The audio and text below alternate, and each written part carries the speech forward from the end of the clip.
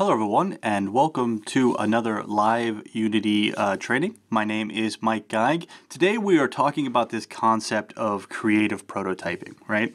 And what we want to do is we want to see what we can build with Unity without doing a whole bunch of code, without having a whole bunch of custom assets, uh, just to, to develop an idea, to talk a little bit about pre-production and the phases of pre-production and you know the sort of stuff that we can make uh, within Unity here fairly easily, you know, fairly quickly. So we're going to be talking about this uh, concept of the Neon project. You might have seen it before, but basically, uh, let's let's take a look. Before I forget, I just want to say that if you have any questions, comments, uh, whatever, feel free to uh, follow us or message us on Twitter uh, at Unity3D, at the Ant Ranch, at my, Matt Mirrorfish, and at Mike Geig, which is me. So if you have any questions or anything during this, after this, whatever, you know, just reach out and let us know.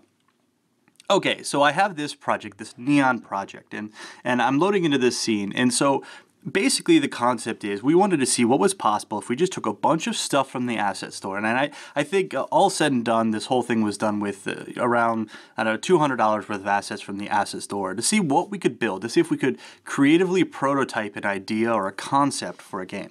And so this is what we've got. Now it doesn't look like much right now, so don't, don't worry about that. But we have this scene, we have some of these buildings from a sci-fi pack, we got some weird grass and then this sort of skybox here. And we're gonna see how it all comes together. But one of the neat things that we're gonna notice is how we can use and reuse assets to sort of block out levels and come up with this, this look and feel and this, this sort of idea. So we have these buildings here. You'll, you'll see these again, don't worry about it. Uh, we've got this sort of like, you'll see this one a lot. You'll see a lot of these, you know, a lot. And, uh, and we're gonna see exactly what's talking about, what we're talking about. And we can use this concept here, these, these sort of items, and we're going to begin blocking out a level and we're going to talk about how this would fit into a sort of creative prototyping workflow. So I'm just going to go ahead and uh, come down here into this sort of little corridor we've got right here. So we have this little corridor here, and this is kind of the main focal area of the scene. This is where we're going to be setting up our props. We're going to be getting our, our look and feel, sort of the emotions, the color schemes. We're going to be building some concept art, all of that from just this little corridor right here. And the neat thing is, is right now, this is mostly just cubes. We've got a lot of, of Unity cubes, here, right? Nothing spectacular, cubes with just some texturing on them. And then we've got a whole bunch of these little game objects, like for instance, uh, this game up right here, in case you're thinking, hey, that looks familiar. Well, it certainly does. That is that building right there uh, that had just sort of been shrunken down and smashed on the side of the building. We got quite a few of those. There's another set of those right here. So just a lot of kind of this, I don't know, sort of trickery that goes into to doing this, right? So we're not really, you know, we're not really working with final art assets. Uh, like it said, you know, in the title, this is creative prototyping. We're trying to come up with an idea to prove the validity of an idea before we spend a lot of time and money uh, working, you know, to create final assets and stuff like that. Because you know, this may not, uh, from an art, our, uh, our architecture standpoint, from an artistic standpoint, from a design standpoint, this may not end up being something that you know we we want to go into production or whatever whatever, so we want to try the idea out. Now, that's not to say that what we're doing here is going to be wasted effort, right? So I got some cubes and whatever, and these aren't final assets per se. Uh, that's not necessarily, to, you know, going to make this, uh, you know, an effort that's wasted. One of the neat things that we can do now, and I, I, we just had a live uh, training about this, a live session about this, is that we can do things like, you know, obviously work with primitives. We can work with tools like ProBuilder, right, to, to build up scenes and like that.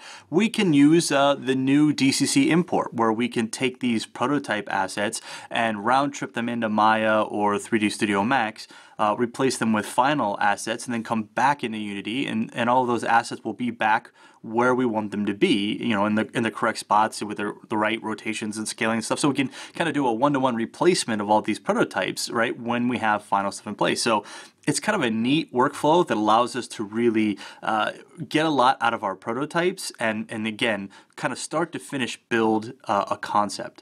Now I'm going to get rid of this little blue box here. Uh, it's just uh, one of these gizmos that needs to be turned off as soon as I can find it here. There we go. All right, so that was just bugging me. All right, so let's get down to it. I've talked enough about creative prototyping and this and that. Let's actually see some stuff. All right. So the first thing I'm going to do is obviously I'm going to turn on scene lighting because that helps a ton. You know, without scene lighting, it's nice and bright and easy to place objects and stuff, but we can turn scene lighting on and there we go. So we already got a little bit of mood. Now I've had some people ask me in the past about uh, the lighting so far in here, and I'm actually going to also turn down these 3D gizmos. There we go. So the lighting is nothing too spectacular. This is being done with the uh, progressive uh, uh Lightmapper preview here with some basic settings and stuff, so nothing too extreme, and that's just been baked, and we just get some color and whatnot from that. So people had asked me in the past about uh, the light baking and stuff, and so I just wanted to point that out. So I've turned on scene lighting. Now, I have this thing that I call control board. This is just a script that just allows me to turn on and off a whole bunch of game objects at once. Uh, and really, all it is is just it just turns on components and stuff like that. This is just one place that I can do that. But uh, so the first thing I'm going to do is I'm going to turn on some some scattering. And if I want to see what that scattering is, it's actually this atmospheric scattering deferred here on the camera, uh, which is part of uh, Unity's atmospheric scattering package, uh, which is available online. And I also have links here in the video at the bottom where it says session links for the atmospheric lighting and stuff like that, all the stuff that I'm using here. So all the stuff that I'm using, you know, you can get, it's on the asset store, it's, it's uh, or one of the Unity assets or whatever. So there's atmospheric scattering, uh, and you can see here, that's just kind of adding a haze or a fog to that.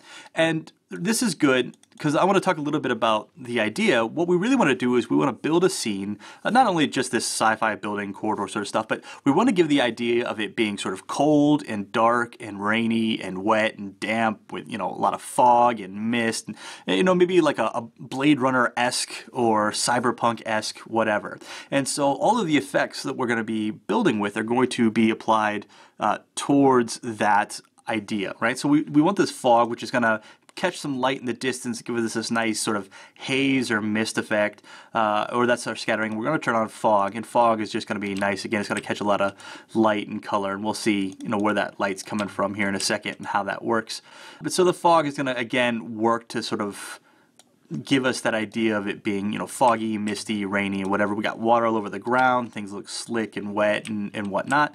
And so you know, we're sort of playing into that idea, right, of, of, this sort of this wet, dark, futuristic. We want a lot of bright lights, but a lot of really deep shadows and stuff like that. And that's sort of this concept, and we're going to see how we can achieve that. All right, so now if I look at the ground here, since everything is wet, you know, we got some some water reflection. I believe the ground is just a, a standard shader material, um, the actual like wet ground, not the skybox. I got to find it here.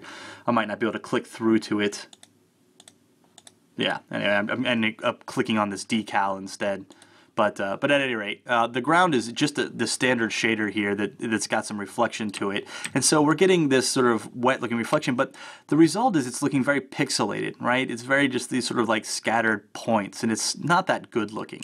And so what I'm going to do is I'm going to turn on some post-processing effects. So here I'm just going to click my turn on post-processing button. But what that really does is that just turns on this component on my camera called a post-process layer.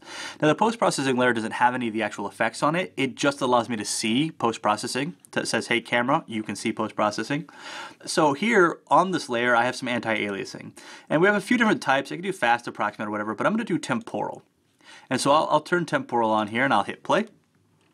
And now uh, when I move around, you can see those lights really smooth out. So again, without that post-processing, very jagged, very, you know, pixelated light reflections there, and then with it. Okay, so we definitely want that post-processing on there, right? It certainly helps out with that. Um, so there we go. We've got that, which is cool. All right, so that's just a nice beginning effect there.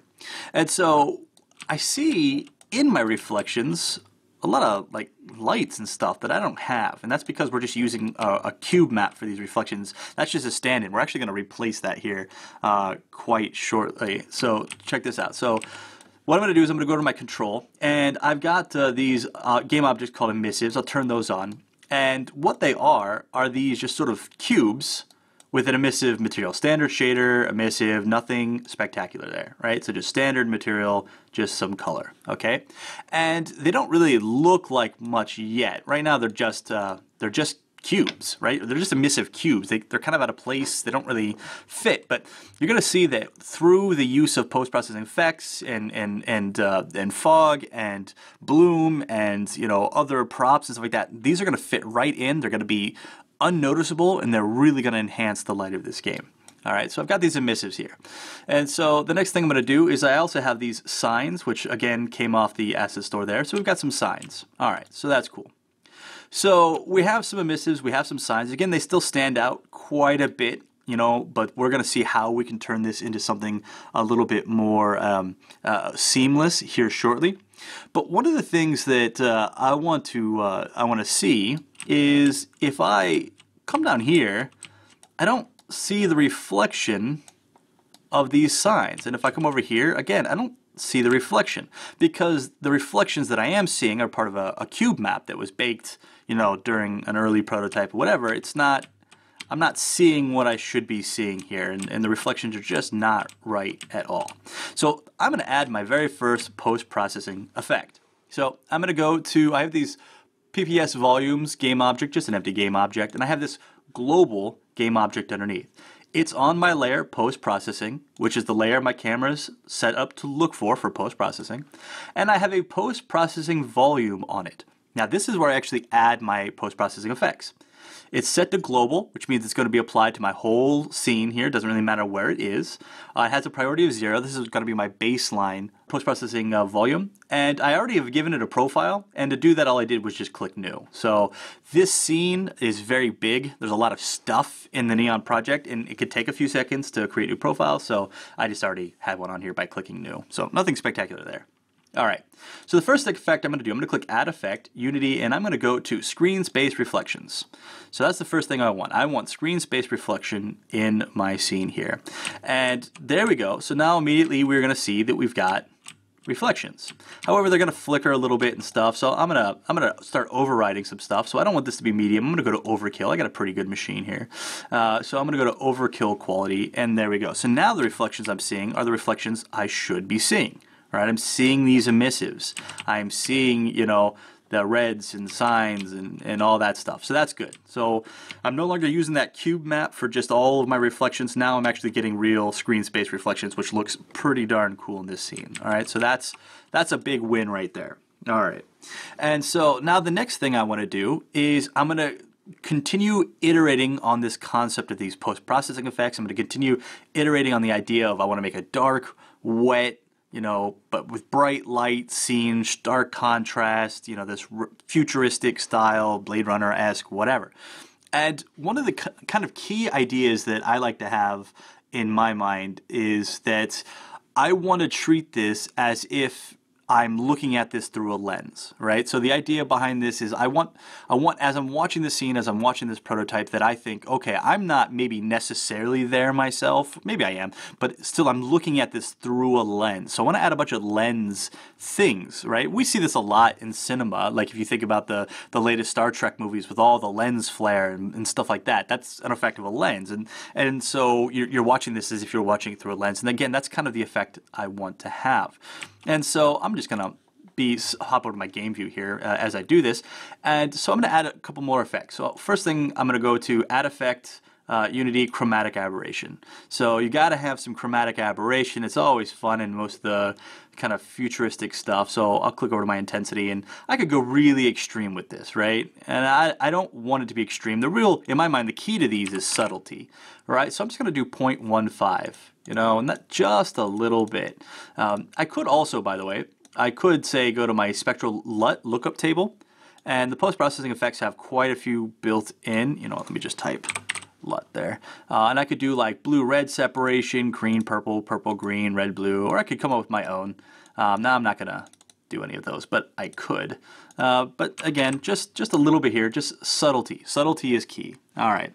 And so I've got my chromatic aberration. The next thing I'm to do is I want to set up some, some auto exposure. One of the things I'm trying to achieve right now is I'm trying to sort of even out my canvas, or even out the luminosity of my scene. If anyone does any photography or anything like that, I'm trying to come up with a nice even scene so that when I do my color enhancements, I have a lot of room to play without without going too too dark, too too light, or whatever. All right. Uh, and so what I'm going to do now is I'm just going to go to add effect, Unity. I'm going to add some auto exposure. And auto exposure is going to do that thing that I was talking about. It's going to help me even out the lighting in my scene. It's going to help me uh, specify the, the minimum brightness and darkness and whatever. So for my minimum EVs, I'm just going to drop this down to like negative 3, uh, which is going to make my scene very bright because I'm adjusting the luminosity balance of my scene. So nothing can be darker than this minus 3 EVs, which makes all my darks brighter. Uh, now I want to cap my maximum EVs, how bright everything can be. So I'm going to cap it at 4. And now, obviously, this is way too bright, so I'm just going to adjust my key value here. And so I'm going to bring my key value down to about 1.5, somewhere in there. There we go. And so all that's doing is that's just making my darks a little bit brighter, helping me even out my scene. It's not really affecting my brights too much, but it's helping to even out the darks of my scene, which will be useful later. All right. I'm also going to turn on some eye adaptation, which basically means that if I look at something really bright, everything else around it will be dark. And if I look at something really dark, everything else will be bright. And uh, if I go from really dark room to light room, my eyes will adjust and light room to dark room. So it's a really cool effect uh, for that. So uh, just have some auto exposure there. We're not going to see it, notice it right now, but we'll, we'll see little traits of it later. Okay, so the next thing is the thing that, that everyone sort of loves, right? The the thing that, that makes every game AAA. I'm gonna go to Add Effect, Unity, and Bloom. All right, and now is the time I'm gonna let you into the super secret trick to making AAA games. Uh, a lot of people don't know this, but the real key is just taking bloom and just going really high with it. And there you go. The higher your bloom, the more AAA your game. So there you go. I feel like this is this is good. I think I've achieved a really good level here. Uh, but for the sake of subtlety, I'm gonna avoid my my lesser instincts, and I'm gonna do something maybe a little bit more pleasing to the eyes. Even though that's pretty good, uh, I'm gonna drop this down here a bit. So I'm gonna maybe just set my intensity to once, because again, subtlety is key here, and I really want the, the, the bloom really helps me catch sort of this fog. And we're going to see how this is going to play together here later here. So the nice thing about the bloom is it makes this fog really kind of the same color as these light emissive panels. And that's pretty cool there. All right, so I've got some bloom and, you know, I can mess around with a few of these. Like sometimes I bring the anamorphic ratio up to, to one, which has just a, a slight change to how the bloom works with the fog and stuff like that. Um, and I can play around with the diffusion a tiny bit if I really want to. It's just how much the light diffuses. All right. So there we go. So I feel pretty good about that fog uh, and, and that bloom, and, and that's looking pretty decent here. Uh, I haven't taken the moment to kind of stop and check chat here real quick. I see Matt's been answering a lot of questions, but I'm going to do that here real quick. Volumes are super cool. Uh, tons of great possibility here. Yeah, one of the neat things we're going to see here soon. So the volumes are nice, but one of the neat things that you can do in Unity is the volumes don't have to be cubes. We can do all sorts of shapes. You're going to see that here in a little bit. One of my sort of favorite things about the volumes in Unity questions about uh, WebGL and post processing. Not so sure that'll work. WebGL doesn't support a lot of that cool stuff because it tends to be a little bit lower powered. Uh, I think post processing stack has a volumetric lighting system. Is that true? Uh, no, I don't believe so. There, they might be adding one, but the volumetric lighting we're using here is uh, the Blacksmith volumetric lighting from the asset store.